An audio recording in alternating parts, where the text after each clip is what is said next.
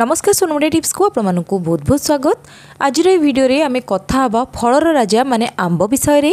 pregnancy ସମୟରେ ସାଧାରଣତଃ pregnant ମହିଳାମାନଙ୍କୁ ଫଳ ଖାଇବା ପାଇଁ ବହୁତ ଭଲ ଲାଗିଥାଏ ଆଉ ଏମିତି ବହୁ ଜଣ ଅଛନ୍ତି ଯେଉଁମାନଙ୍କୁ ଆମ୍ବ ବହୁତ ପସନ୍ଦ ହେଇଥାଏ ଏବଂ ପ୍ରେଗନେନ୍ସି ଟାଇମ୍ରେ ସେମାନେ ଆମ୍ବ ଖାଇବା ପାଇଁ ବହୁତ ଭଲ ମଧ୍ୟ ପାଇଥାନ୍ତି କିନ୍ତୁ ବହୁ ଜଣ ପଚାରିଛନ୍ତି କି ଗର୍ଭବତୀ ମହିଳାମାନେ ଯେତେବେଳେ ଜଣେ ମହିଳା ଗର୍ଭବତୀ ଅଛନ୍ତି ସେ ଟାଇମ୍ରେ ସେ ଆମ୍ବ ଖାଇପାରିବେ କି ନାହିଁ ଆଉ ସେଇଟାର ଉତ୍ତର ହେଉଛି ଯେତେବେଳେ ଜଣେ ମହିଳା ଗର୍ଭବତୀ ଅଛନ୍ତି ସେତେବେଳେ ସେ ଆମ୍ବ ଖାଇପାରିବେ କାହିଁକିନା ଆମ୍ବରେ ଭିଟାମିନ୍ ଏ ଅଛି ଭିଟାମିନ୍ ସି ଅଛି ଯେଉଁଟା ମହିଳାଙ୍କର ଏବଂ ତାଙ୍କ ଗର୍ଭରେ ପଡ଼ୁଥିବା ଛୁଆର ସ୍କିନ୍ ପାଇଁ ବହୁତ ଭଲ ଚୁଟି ପାଇଁ ବହୁତ ଭଲ ଏହା ସହିତ ଆମ୍ବରେ ଆଇରନ୍ ଅଛି ଯେଉଁଟା ରକ୍ତକୁ ବଢ଼ାଇବାରେ ସାହାଯ୍ୟ କରିଥାଏ ଏବଂ ଆମ୍ବରେ ପୋଟାସିୟମ୍ ମଧ୍ୟ ରହିଛି ଆମ୍ବରେ ସୁଗାର ଅଛି ଯେଉଁଟା ମହିଳାଙ୍କୁ କ୍ୟାଲୋରି ଦେଇଥାଏ ଯଦି ଆମ୍ବକୁ ଥଣ୍ଡା ଥଣ୍ଡା କରିକି ଆପଣ ଖାଇବେ ତାହେଲେ ସେଇଟା ଆପଣଙ୍କୁ ବହୁତ ଭଲ ଲାଗିବ ଆପଣଙ୍କୁ କୁଲିଂ ଇଫେକ୍ଟ ଦେବ ଏବଂ ଆପଣଙ୍କ ମାଇଣ୍ଡକୁ ମଧ୍ୟ ବହୁତ ଭଲ ରଖିବ ତ ପ୍ରେଗନେନ୍ସି ସମୟରେ ଆପଣ ଆମ୍ବ ଖାଇପାରିବେ କିନ୍ତୁ ସବୁ ଭଲ ଜିନିଷ ପଛରେ କିଛି ନା କିଛି ଖରାପ ତ ରହିଛି କିନ୍ତୁ ଆମ୍ବ ପଛରେ ଯେଉଁଟା ଆମର ଡିମେରିଟ୍ସ ରହିଛି ସେଇଟା ହେଉଛି ଆମ୍ବରେ ଯେଉଁ ସୁଗାର ଥାଏ ସେଇଟା ବହୁତ ମାତ୍ରାରେ ଥାଏ ମାନେ ଯଦି ଆପଣ ଶହେ ଗ୍ରାମ ଆମ୍ବ ଖାଉଛନ୍ତି ସେଥିରେ ପନ୍ଦର ଗ୍ରାମ ସୁଗାର ରହିଛି ତ ଆମ୍ବରେ ବହୁତ ମାତ୍ରାରେ ସୁଗାର ରହିଛି ତ ସେଥିଲାଗି ଆମ୍ବ ଆପଣ ଯେତେବେଳେ ବି ଖାଇବେ ଗୋଟେ ଲିମିଟ୍ରେ ଖାଇବେ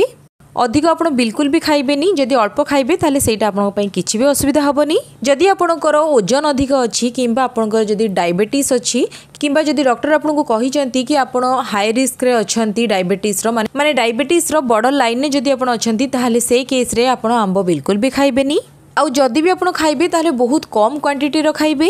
जदि आपको आंब खावाक इच्छा एवं आंबर सीजन एपर्त आसीनी कि आंब जदि आप भल जगार नौना नाते आंब को पचवाई से गोटे केमिकाल यूज कर जो केमिकाल को कैल्शियम कार्बाइड कहुए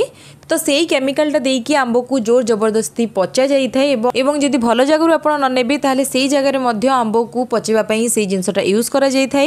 तो से जदि गर्भवती महिला खाऊँचा निहत भाव में क्षतिकारक हम ये केस्रे आपत अर्गानिक आंब खाइबे मानते ଯଦି ଆମର ବାଡ଼ି ଆମ୍ବ ଯେଉଁଟାକୁ ଆମେ କହିଥାନ୍ତି କି ଗଛରେ ପାଚିଛି ଆପଣ ଆଣିକି ଖାଇବେ ସେଇଟା ତ ବହୁତ ଭଲ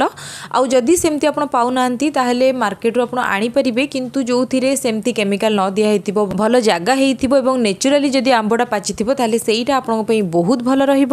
एवं जिते बड़े बाहर आंब किणुचार आंब को भल भाव धुंतु और जदि आप चाहिए टी स्क्रब टाइप मानते टी हार्ड हिसाब से आप आंब को टी घसी घसिक भल भाव धोई पारे एमती कले आंबर जो प्रिजर्भेट मानते जो सब केमिकाल उपर दि जाइए कि कौन से भल भाव बाहरी जीवन से पूरा सेफ रही रहा ଆଉ ଗୋଟେ ଜିନିଷକୁ ଧ୍ୟାନ ଦେବେ କି ଯେତେବେଳେ ଆପଣ ଆମ୍ବ ଖାଉଛନ୍ତି ସେତେବେଳେ ଆପଣ ମନେ ରଖିବେ ତା'ର ଚୋପା ଯେମିତି ଆପଣଙ୍କ ପାଟି ଭିତରକୁ ନ ଯିବ